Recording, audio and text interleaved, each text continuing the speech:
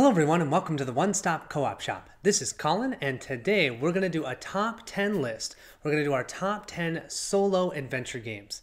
Now, we just did a top 10 solo dungeon crawlers, and how I see these as being a little bit different is the dungeon crawler is more focused on the combat, and an adventure game has combat, and actually, my number one has a lot of combat, but there's a lot of other things you can do as well, and you'll focus on. And one of the main ways that you can win usually is not just by combat. Now, there will be some exceptions, but in general, that's what I would say for an adventure board game. Now, there's a couple that I haven't played that I really think would be on this list, but I just haven't gotten them to the table. So I wanted to give them a couple nods. So the first one is Shadows of Malice. That one looks amazing. I just haven't gotten it to the table. Another one is Fortune and Glory, which I think looks like so much fun from from um, Flying Frog Productions. Yeah, looks awesome. And then the final one, and this one just came out, and Rolling Solo has a uh, unboxing video of it, and I'm hoping to do a playthrough of it soon. I'm just gonna get my copy today, and that's City of Kings. I think that looks like a great adventure game. It's probably gonna hit somewhere in this top ten. But they won't be in there because I haven't played them. So let's get going. Let's look at our top 10.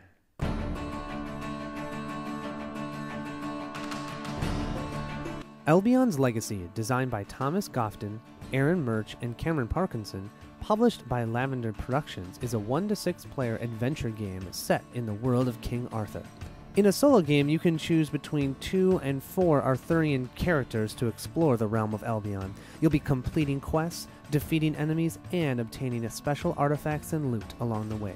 The basic game comes with about four different scenarios in the box, but the deluxe version has almost twice that many. You'll need to utilize careful planning and a fair bit of luck to win this game. The reason I really enjoy this game, first of all, is the theme. All the cards in the game just drip with theme. Whenever you draw an event card or you draw an enemy card, it totally makes sense in the world that you're playing in. The tiles that you explore provide you with locations that you'll know from the story of King Arthur. And I have to say, they did a great job of implementing the theme into the mechanics so you remember things very easily as you're playing the game. The mechanics aren't difficult because they follow the theme itself. I have to say, I also really enjoyed the dice in the game.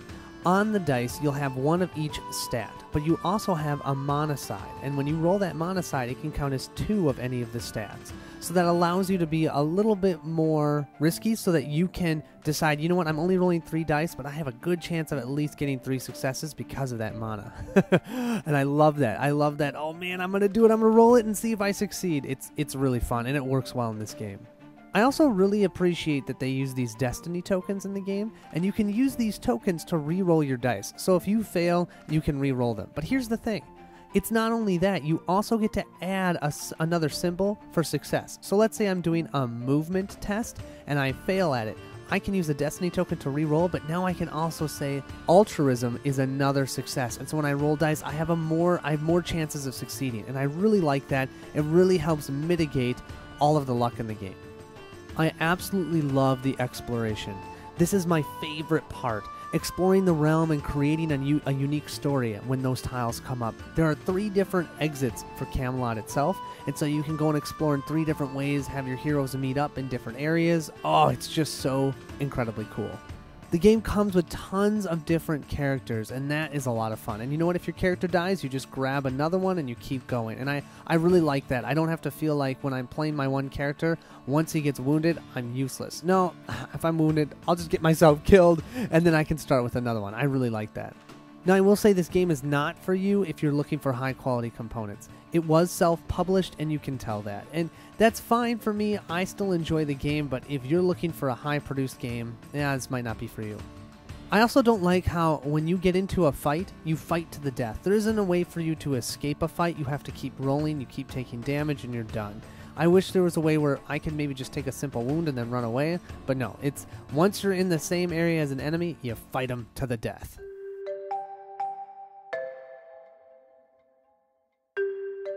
Seventh Continent, designed by Ludwig Roudy and Bruno Sautter, published by Serious Poulp, is a 1 to 4 player cooperative adventure game where players act as explorers from the early 20th century, exploring the seventh continent of the world.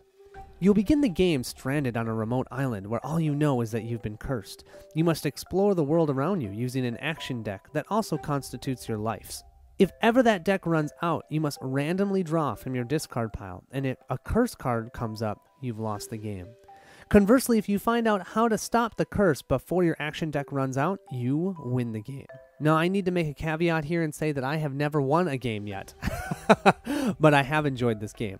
It is said that in order for you to build the entire seventh continent, pulling out all the necessary cards, no single table would hold all of that. That means that, you know, they've created such an expanse. It's so awesome.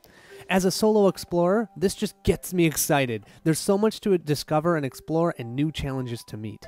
I also really like the challenges in the game because not all of them are about combat. Actually, a lot of them aren't. And this is because you can tell the focus of the game is the exploration and discovery, not the combat itself.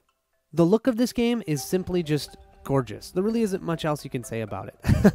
the map consists of cards that perfectly fit together, and when you put them together on the board eh, or on the table, it just looks wonderful, and you feel like you are there on that actual continent.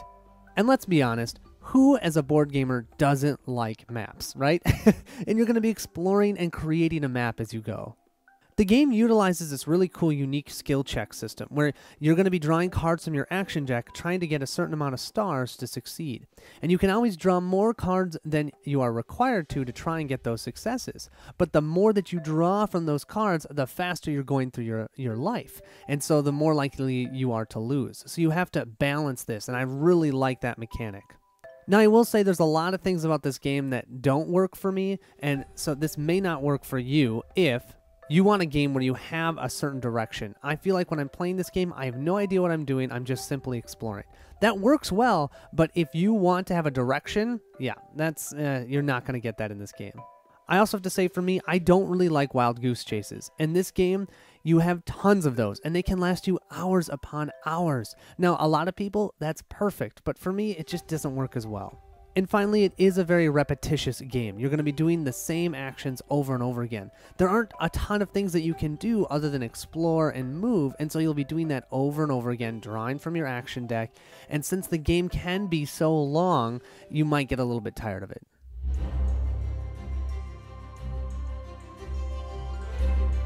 Lord of the Rings, the adventure card game, designed by Nate French and published by Fantasy Flight Games, is a cooperative adventure game in which one to about four players, if you have two copies of the base game, can attempt to complete a scenario by adventuring through all the specific locations of the quest.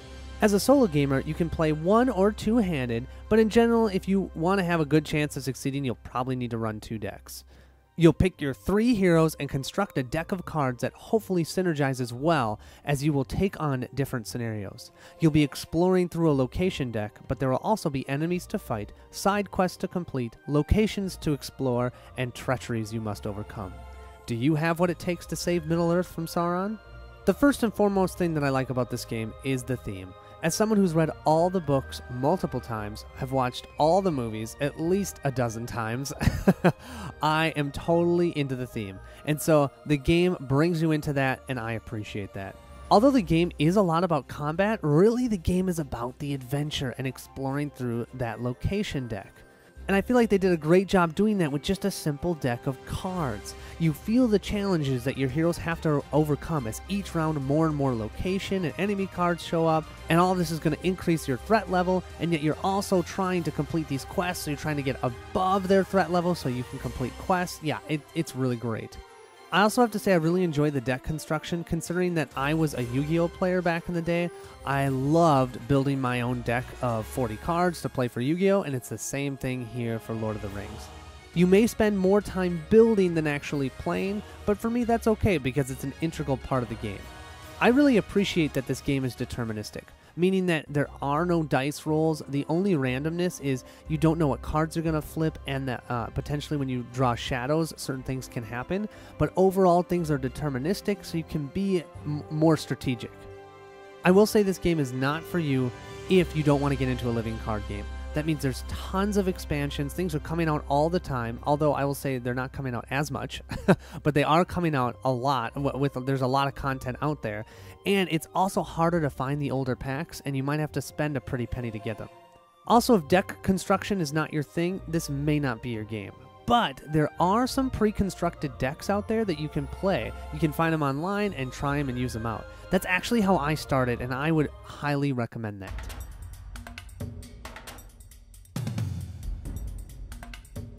Robinson Crusoe Adventures on the Cursed Island is a cooperative worker placement adventure slash survival game where players work together to try and survive on an island.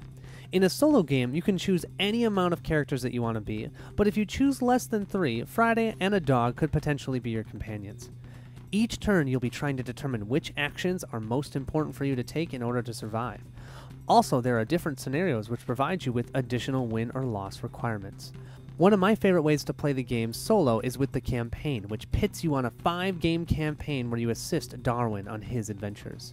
Why I like this game is first of all, the adventure itself. I love how you are adventuring on the island, trying to find different areas of land so that you can build certain tools so you can survive. First thing you do, you got to find a place so that you can build a camp. So that means you've got to go and find either a cave or explore so you can build your camp. And I just, you know, all these simple things that you're building and putting together, it's wonderful for an adventure. I absolutely love the dice mechanic in this game. You want to succeed at something? Use two two of your workers because you only have two workers. So use both of your workers and succeed. Don't have to roll dice. But if you are trying to get everything that you need to get done, you have to split your workers, and that means you have to roll dice that have different probabilities of, of success, and if you'll have adventures or wounds. I love how this works. Each round, you have to make this determination of which way do I want to go? Do I want to guarantee this, or do I need to do more things at one time? I love it. I will say I also enjoy the fact that I'm building in this game. So I'm building up from nothing. I start with absolutely nothing except for an idea for a shovel. and then by the end, I might have a snare to catch additional food. I'm, I've built a shelter with a roof. I have a palisade. Yeah, you just you kind of build everything up, and that is so much fun in a game. I love going from nothing and then building up from there. Now, I will say this game is not for you if you're looking to win all the time. The event deck can be very brutal and it can make it where it's almost impossible for you to win. And you know, that's okay to me because it makes sense from a theme perspective, but for some people, that might be a turnoff. Also, if you're looking for a shorter solo game, this wouldn't be it. The game is going to be long. A lot of times it's 7 to 12 rounds. One of my favorite ones, the family uh, Robinson family, is 12 rounds long, so it can get really long. So don't look for this for a short game. And finally, if you're just not interested in the theme or you don't enjoy worker placement, yeah, this isn't going to be for you.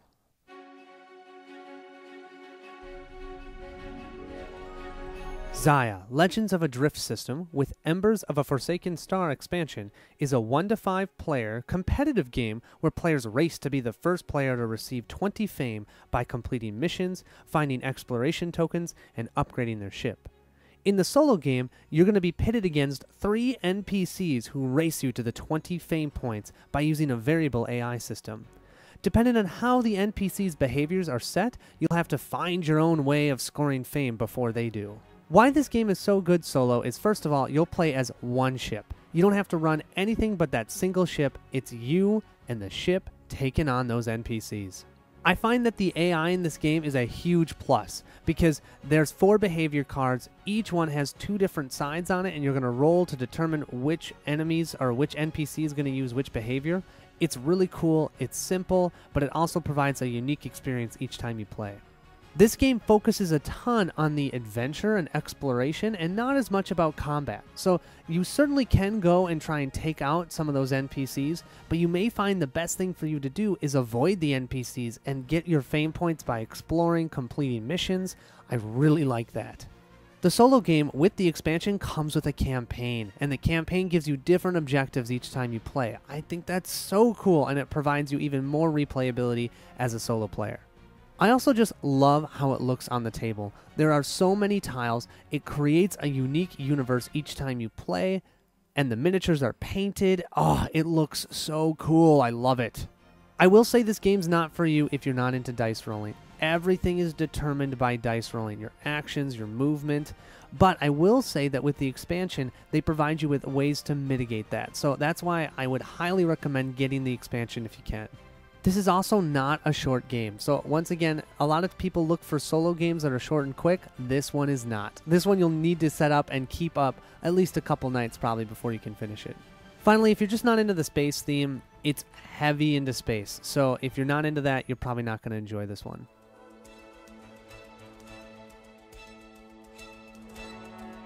Assault on Doomrock, designed by Tom Stasiak and published by Beautiful Disasters Games, is a 1 to 4 player cooperative adventure game set in a humorous fantasy world. In a solo game, you'll control at least two characters who begin the game with some random characteristics, such as being sadistic, stinky, frustrated, and all of those give you different benefits and uh, uh, a setback as well. The game is broken up into two distinct parts. The first part is all about preparing for the combat ahead, and you'll be adventuring together through certain locations, trying to find loot, upgrading your skills, and who knows what else. You'll also need to ensure that at the end of the third round, you arrive at the final location from the location deck, otherwise, you'll lose. After the adventure phase comes the combat phase, where you're very likely going to die a horrible death. the game utilizes this abstract combat system where health tokens denote your opponent's health, and you're going to be using dice to activate your powers. These fights can be quite challenging and can cause you to have to think a little bit outside of the box in order to win. If you can defeat all three levels of increasingly difficult enemies and get to the final location card, you win the game. But don't expect that to happen too often. So, what I really like about this game is the unique feel. I just like how the game feels different than most that I've played. With the two different phases and how you activate your heroes in combat and how the enemy's AI works, it just gives you a different feel when you're playing it because you've got these totally different phases. First, you're going to be adventuring, then you're going to be doing combat, then you're going to go back to adventuring, and it just it works really well. I also really like how you level up as a player. So as you gain experience, you can use that and everybody can level up, getting new skills, getting new loot, getting, uh, uh, I think it's like called luck. You can get additional luck so that you can reroll dice. Yeah, it's, it's great. I also like how all the heroes feel so different. And when you add in those characteristic cards, it even it's even more different. So I can play the same hero and still have a different feel each time I play with those different characteristic cards. I also really love the AI. Man, the AI is hard in this game. It's only a set of six cards for each unique enemy. But those six cards always seem to know exactly what they should do to either heal themselves, shield themselves, or come at you and attack you so that you can't do what you were planning on. the enemies will activate first before you go, except for in some certain circumstances. But so that means usually when you're planning on what you're going to do, you don't know what the AI is going to do. And so you plan for long range attack, and all of a sudden, oh, they come up and melee and, and get into your face, and no longer can you use your ranged attack on them. Yeah, it's so cool how it works, and it makes for a very challenging and tight game. I also just love the adventure locations. All of them are so different. They provide you with different things that you can do. You can try and push your luck to gain some more success tokens or whatever they're called. I can't remember their name. But yeah, they give you different things that you can gain. You can gain your health, you can gain loot, you can also rest and gain some exposure, which might actually hurt you in the combat, but then you get benefits uh, right now to getting loot. Yeah, I just, I love how the adventure locations work and how you have to push through them, yet you can also explore them. Now, this game is not going to be for you if you're not into the theme. The theme can be a little off putting because of the humorous aspect of it. You gotta just either get over it or just laugh about it and enjoy it. I personally enjoy how combat works, but people who don't like abstract combat might not like it because there is no board. They're just going to tell you, oh, they engage or disengage, and so it's it's going to be a little bit messy. The difficulty of the game is very high, and that can be a turnoff. If you play this two or three times and you haven't won, you might give up. Now, I've played this six times, I think, and I've lost every time. So, but I still like it. I keep coming back for more. Apparently, I like to be punished.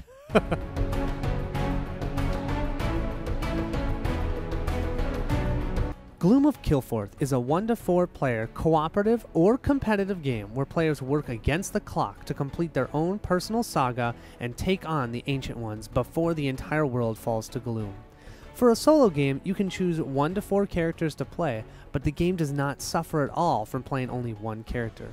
You'll move between locations, meeting strangers, finding perils, and collecting trophies and money. As you continue to build your powers up to defeat the Ancient One, evil does not just sit and wait.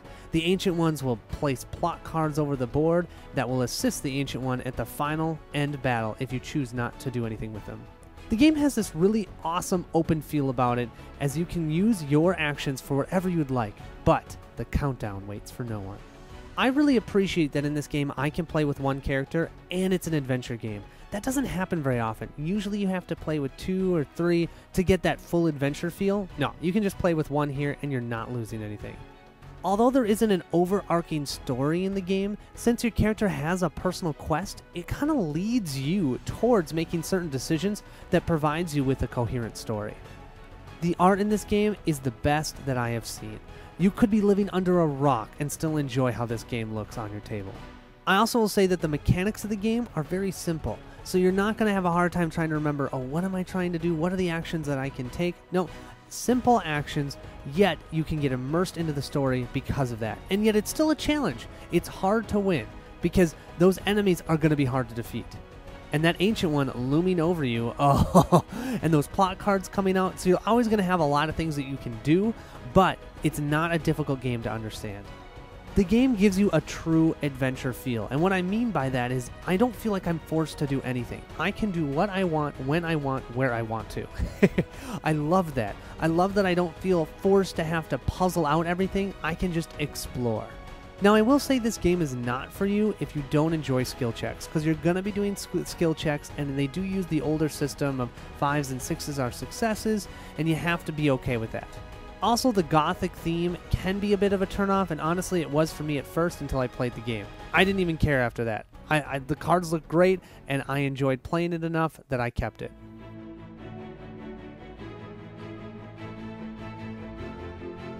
Runebound, designed by Lukas Litzsinger, published by Fantasy Flight Games, is a 1 to 4 player game set in the world of Terrinoth. Players work together with the Unbreakable Bonds expansion to either defeat the boss or find the cure to the disease that is plaguing the land. Solo is identical in play to the multiplayer. In the game, you will move around a map, completing exploration quests, combat quests, and social quests to earn you trophies and money. With your money and trophies, you'll obtain new skills and find new items. Each scenario provides players with a challenge that they must overcome. If the players can complete the necessary objectives before the end of Act 2, the players win. This game is another true adventure game. There's no requirements for you of where you need to go to be able to complete certain things. No, you get to decide where to go, where you want to quest. Do you want to go and do combat? You can go and fight enemies. But you if you want to go and do a social quest or go and do an adventure quest, you can certainly do that. And that's what's so fun about the game. You get to decide how to create your adventure. I also really like how your character develops in this game. You'll find new skills and use trophies you've won through encounters to obtain new abilities. You also can purchase items which can provide you with additional combat tokens, because at the end of the day, generally you're going to have to fight some enemies, and those combat tokens can really help. If you're thinking about getting Runebound for solo play, definitely pick up the expansion. It provides you with all the right tools you need to enjoy the game the battle sheets for the AI, two new scenarios specifically designed for co op or solo, and the ability to play all other scenarios solo or co op. Because of the expansion, this game has climbed up and up on my solo list, and that's why it's number three for me. Now, this game is not for you if you're looking for deterministic resolution. Almost everything is determined by dice, even movement on the board, also, combat is with these tokens instead of with dice, so you're going to be casting tokens, which some people really don't like, but I personally love. I think it's a it's cool, it's unique, and it's different. Of all the games on this list, I think this one is the second longest for me. the longest being Seventh Continent, but then Runebound.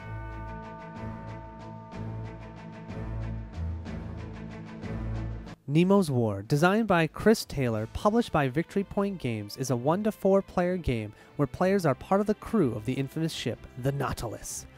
As this game was designed as a solo, the solo play is amazing. In the game, you'll be moving through the seas, sinking ships, inciting rebellions, and finding treasure. The game comes with four different motives that determine the amount of victory points you will receive for specific actions. As long as your ship is not destroyed or your notoriety gets too high, you can score points during the game. And at the end of the game, you can tally up your points and compare results from game to game. They also provide you with a scale that tells you, depending upon the amount of points you got, what level of success you had in the game. This is another game that I feel like is a true adventure game. There's nothing that I'm required to do. I can just explore the seas and find my way. Do I want to be combat heavy? Do I want to be exploration heavy? How do I want to gain my victory points? Part of that is determining your motive, and that's one of the best parts about the game. You can play the game in four different ways, and each way, certain things will give you different victory points. For an example, my playthrough on this channel is the specific one about war, and so I got more victory points for sinking ships. So I did a lot more of that than maybe in the game where my focus is science and I'm trying to look more for exploration. You'll be rolling a ton of dice in this game, but one of the things you can do is mitigate all those dice rolls with modifications. You can utilize your crew, you can utilize Nemo himself, you can utilize your ship to add additional modifiers to your dice rolls.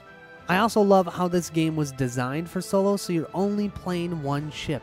You only have you to worry about. You don't have an extraneous AI you have to worry about. You don't have to run multiple characters. Nope, it's a single ship. And I have to say, I love the adventure cards. Although they do not provide you with a specific overarching story, the adventure cards allow you to swallow up the theme and get invested in the game personally, and I love that. Now, this game is not for you if you're not a fan of dice rolling, because there's a ton of dice rolling. And if you do want an overall coherent story or a campaign, you're not going to get that here.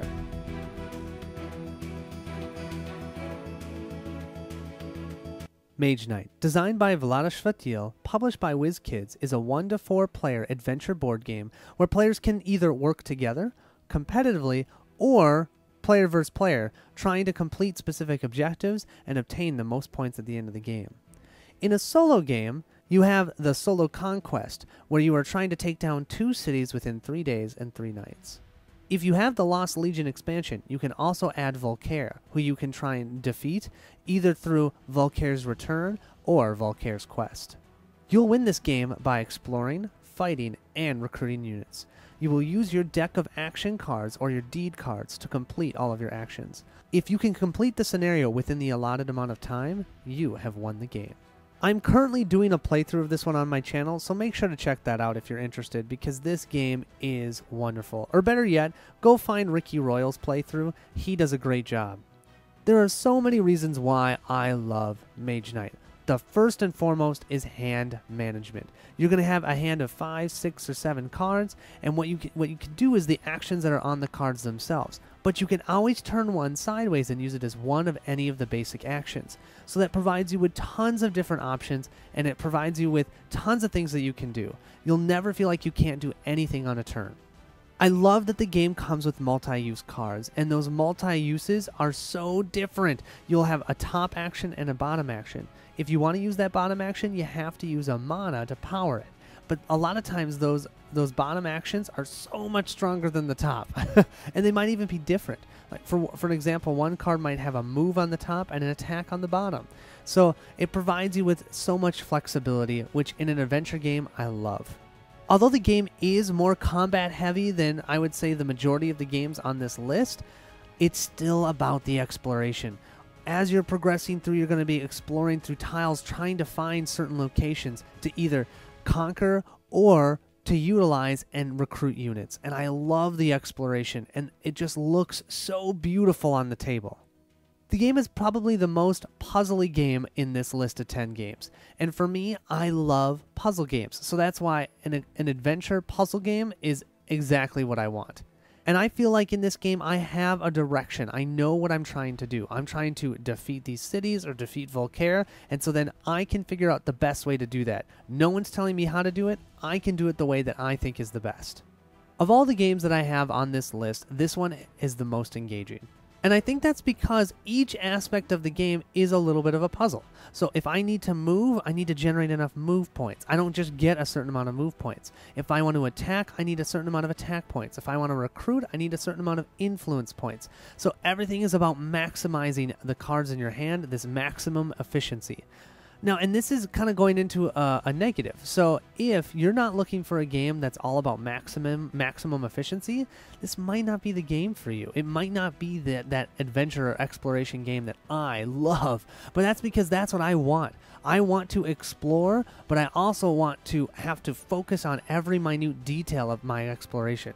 Am I going to have enough move points? Am I going to have enough influence to buy that unit? Am I going to be able to do what I want to do in the certain amount of time that I have? Yeah, I, I love that, but for certain people, that could be a turnoff. I have now played this game at least six or seven times, and I would say the replayability couldn't be higher. I'm not even close to scratching the surface of this game, and I could play this over and over again each time with a different experience and using the same scenario. I haven't even tried other scenarios. I haven't tried player versus player, I haven't tried competitive, I have tried cooperative, and I love cooperative, other than the simple fact that you can't affect other people on their turn. I wish there was a way that you could share mana or maybe uh, play a card to help them. But other than that, I have loved this game. I would also say the replayability in this game is one of the highest on this list. That is because there are so many things that change each time you play how the tiles come up, which which cities or um, what Volkare has in his army is always different, and so it doesn't even matter that I start with this essentially the same 16 cards each game. My experience is totally different. One time I might be focusing on keeps, another time I might be focusing on wizard towers, another time none of those are showing up, so I'm doing dungeons and temples, and you know it, it all depends upon what shows up on those tiles, and that's why I put this under exploration because it's all about what you explore and then making the best of what you're finding. Now, I will say this game is not for you if you're not into trying to puzzling out the best actions for you, okay? Because that's what you're going to be doing every round. Do I want to play these cards to maximize my influence, or do I keep some more in my hand so I can use them for movement or attack later? Also, the game is not strong in theme, and if you are looking for a similar game like this with a little more theme, check out Star Trek Frontiers. The game isn't perfect, and I wouldn't even say it's better than Mage Knight. It's just different. And I will have a podcast on this specifically that'll be coming out this weekend. So check that out if you want to see the differences between Star Trek and Mage Knight. And finally, if you're looking for a game with dice rolling and randomness in that way, you're not going to get that here. The only dice you're using are mana dice, and you can mitigate a lot of the dice rolling for that. So I would just say if you're looking for a dice chucker, this isn't going to be your exploration game of choice. And there you have it. That is my top 10. Hope you guys enjoyed it. If you liked anything that you saw there for any of those games, I think all but three of them I have playthroughs on this channel, so feel free to check them out. And also, if you guys have any ideas of other good top 10s you'd like to see, specifically in the solo or the co op, just let me know. I will put them on the list, and I'm planning on doing these about once a month, maybe once every month and a half. Because I will say I still like to focus on playthroughs, but I really do enjoy doing these top 10 lists. Thank you all so much, and I'll see you at the next stop.